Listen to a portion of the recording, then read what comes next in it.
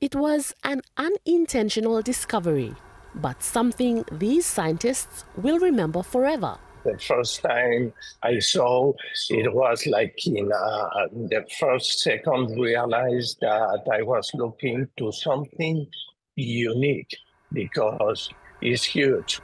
At first, they thought it was a shipwreck. But on closer inspection, they soon realized they'd found something big, what they say is the biggest standalone coral ever discovered. When you are in the water and you have the opportunity to see it, is evident because it's enormous. Described as a mega coral, the group of National Geographic scientists were conducting unrelated research in the area in October when the discovery was made.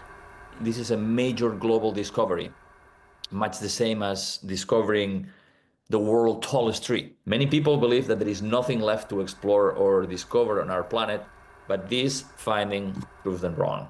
The discovery was made in a remote area of Makira in the southeast of Solomon Islands, off a group of islands known as Three Sisters. Although the size of the coral is yet to be independently verified, experts say if the measurements are accurate, it is almost three times the size of the previous record holder.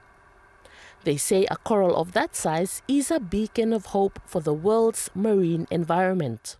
Every coral is precious but something this big and this massive basically is the cornerstone of a reef or a site or an island, so it's particularly significant.